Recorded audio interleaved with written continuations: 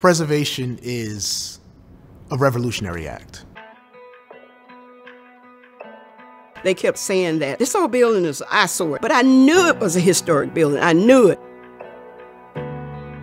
Reading Booker T. Washington's words and being able to directly link it to rural communities like this on a county road, the impact cannot be overstated.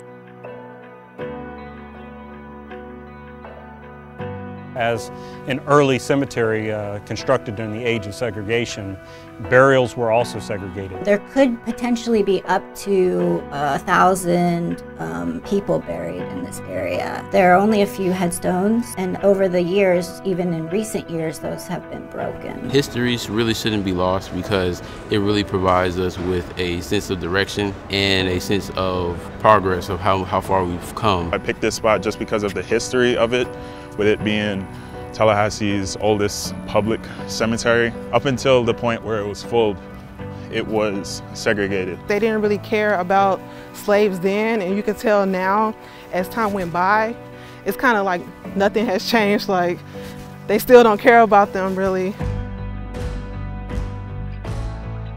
This was never a model where we were looking to create new tradespeople who were going to go directly into the field of preservation trades. We just wanted architects who understood history and preservation better. A little part of me wishes that I was born back then so I can get to know them. Because most of the people there, they're like teachers, lawyers, doctors. Some of them really built Houston.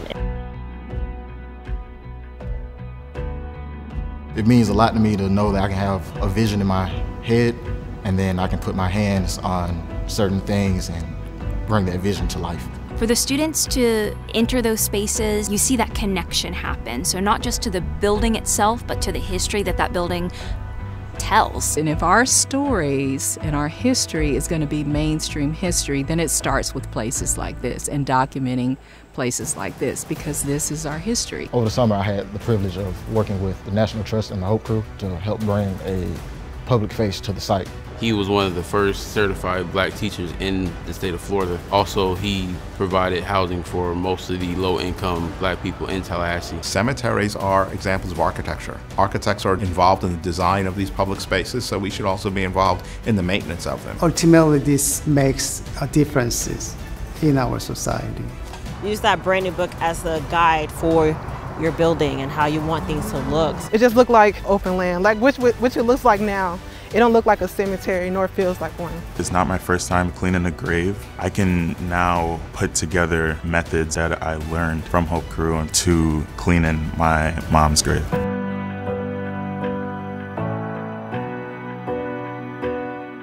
To have a student over 120 years later assisting in the restoration of that schoolhouse is a testament to the seriousness that we've always had as a people as it relates to education. I want this to become a reality before I leave here because you know I'm 73 years young and I really want to see my baby. I want to see my baby saved.